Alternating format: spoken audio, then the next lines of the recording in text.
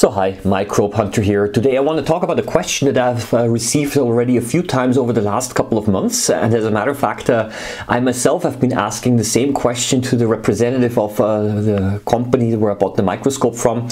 And the question is, is uh, if you use a phase contrast objective uh, as bright field is it possible or is there an image uh, loss of image quality? So to explain this, uh, what I have here is, is I've, uh, this here is a so-called phase contrast objective um, and uh, you can use this phase contrast objective uh, to make certain structures visible that otherwise are too difficult to see. But it's also possible, it is possible to use it also um, on the bright field, but there is a loss of image quality and in this video I would like to now show you comparison pictures um, and because because what I will be doing is, is I will putting be putting this uh, microscope objective. I'll be comparing with the regular uh, bright field microscope objective and those two are comparable because they're not only from the same company but also from the same series and the only difference is, is that this one here is, is for phase contrast. Um, so I now have a fair comparison between uh, those two objectives and as a matter of fact I will be able to show you that there is a small loss uh, in image quality um, just like the representative of my company of the company here um, actually told me many years ago. So um, that's the first thing I'm going to do um, and later on uh, at the end of the video, I'm going to also uh, talk a little bit about why there is this image loss of image quality in the first place. So let's get started. So these are the two objectives that I will be comparing. In the left one, that is the phase contrast objective and you can see the phase ring there. The right one, that is my regular achromatic bright field objective. Um, so I'll be connecting both of them uh, to my microscope like you have here and then I'll be simply switching back and forth. So one thing that I really want to make clear here, I'm only going to use a bright field right now, okay? So that is uh, the point that uh, I would like to test both objectives in bright field. So when I've uh, written in the corner phase contrast, then this means that I'm using the phase contrast objective in bright field.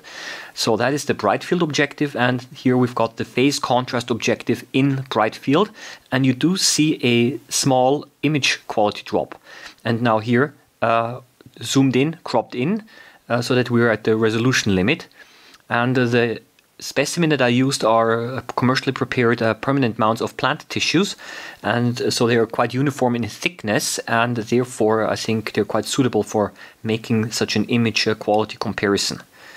And yeah, that's simply the trade-off uh, when using phase contrast objectives for bright field work.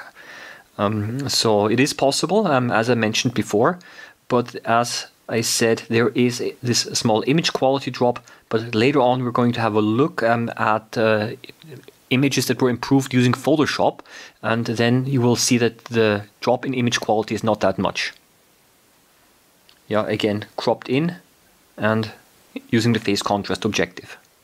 So what I've uh, done now is the following. I now uh, corrected uh, both uh, images uh, for contrast. That's the only thing that I've done. Um, and now let's uh, do another comparison. now both images are processed in Photoshop to enhance contrast. Here level corrected the bright field image from before and the phase contrast objective also now color corrected or contrast corrected and you see that uh, by using uh, some image uh, editing software we can greatly improve the image quality but uh, you still see that there is a little bit of fuzziness left over um, but I think uh, it's okay. Um, generally, um, it should be fine. Um, there are also other factors that uh, play a role concerning image quality, for example, how well the specimen has been prepared and so on. So that's simply the trade-off. And again, phase contrast objective. The question is, of course, now why is there this uh, loss uh, of image uh, quality? And that is, of course, because of the phase ring of the phase contrast objective. The phase ring is a necessity, of course, uh, but it has a few, yeah, it causes a few problems um, as well. And what you have to understand is that the phase ring, because it has edges, it will cause a bending of light rays. So every time when a light ray strikes a corner, like for example the edge of, of this phase ring, then the light rays are bent around the corner and this can cause interference uh, with uh, the light that uh, passes uh, through the phase ring because the phase ring is not completely black. And this causes uh, some of the yeah a loss of contrast um, and you've actually been able to see this. Um, and the phase ring itself also takes away a little bit of light.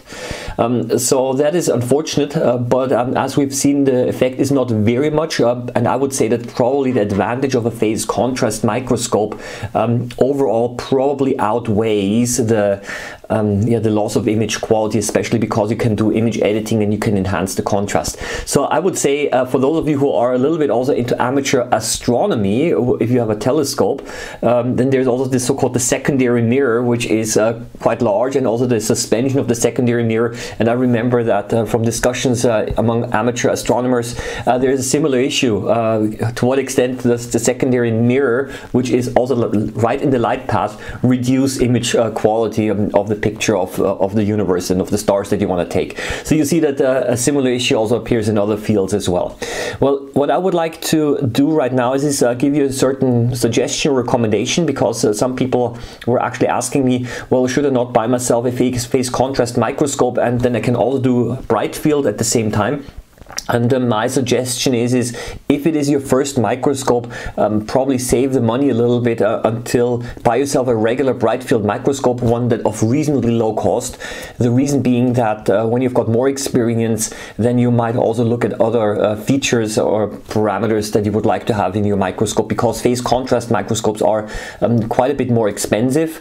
Um, I think that is uh, also has to do with price politics a little bit because manufacturing a phase contrast objective and condenser cannot be is not so cannot be so expensive. It's not really um, that complicated, um, but uh, it is I think a question of price politics, and then you might as, uh, as well look at also other features as well. So my my, my suggestion is is um, don't uh, um, overemphasize the importance of phase contrast, especially because not all samples look better under phase contrast. It depends uh, also a little bit on the type of specimen. Separate video on that. Separate video on that. I think enough for today. I would like to invite you again uh, over to have a look at the links below in the description and also to subscribe to this channel if you liked it. Happy microbe hunting. See you around next time. Bye bye.